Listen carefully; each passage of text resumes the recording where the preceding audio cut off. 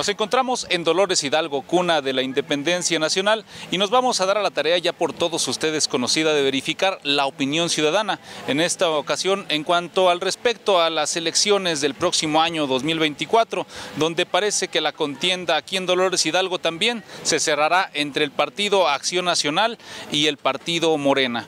Por el Partido Acción Nacional parece que la opción será la reelección del presidente municipal Adrián Hernández Alejandri, mientras que por Morena se habla de que el candidato pudiera ser el llamado Carita Feliz, Julio González, quien en la anterior ocasión contendió como candidato independiente a la presidencia municipal. Vamos a ver quién, quién es el que tiene el apoyo del pueblo de Dolores Hidalgo. Acompáñenos a descubrirlo.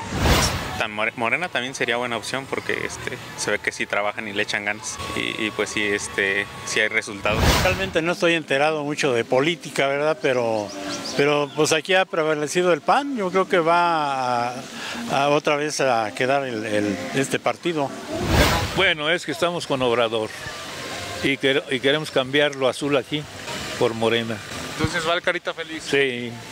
No, pues el que nos da dinero por Morena, nosotros vamos por Morena y esperamos que gane todo. Aquí este, va el Carita Feliz por Morena, entonces va Carita Feliz. Carita Feliz es libre, es independiente, pero del pueblo. Pues sí nos gustaría que Julio González quedara, para que hay muchas calles, lo que es la parte de arriba les falta, digamos, iluminación, eh, más, más apoyo de seguridad pública, este, pues calles que están sin pavimentar. Pues nos gustaría que sí quedara Julio González. Carita Feliz es el bueno. Es el bueno. Vamos este, esta vez por Carita Feliz. Pues que, que sea un buen presidente y que le deseamos suerte y que nos apoye a nosotras las mujeres como madres solteras y que confiamos en él. Carita Feliz es el bueno. Es, él, él es el bueno, Carita Feliz es el bueno. Pues hay un cambio completo de una vez, ¿verdad? Pues ya en el gobierno federal está Morena, que fuera un cambio de una vez también a los municipios. Entonces ahí sería con Carita Feliz. Nomás con que tenga la mentalidad también de hacer algo bueno. Bueno, pues que le eche ganas y que ojalá sí gane, ¿verdad?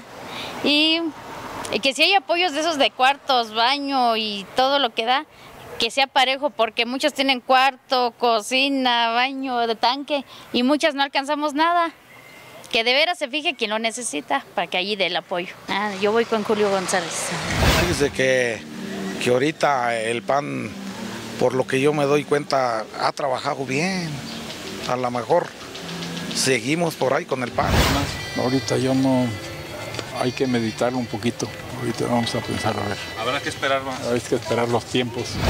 Pues ahí lo tiene usted, querido televidente, de 10 personas que entrevistamos hoy en Dolores Hidalgo, 7 consideran que ya es necesario un cambio, que ya es necesario que el PAN deje de gobernar este municipio y le dé entrada al partido Morena, que es el que al parecer pudiera tener la preferencia electoral.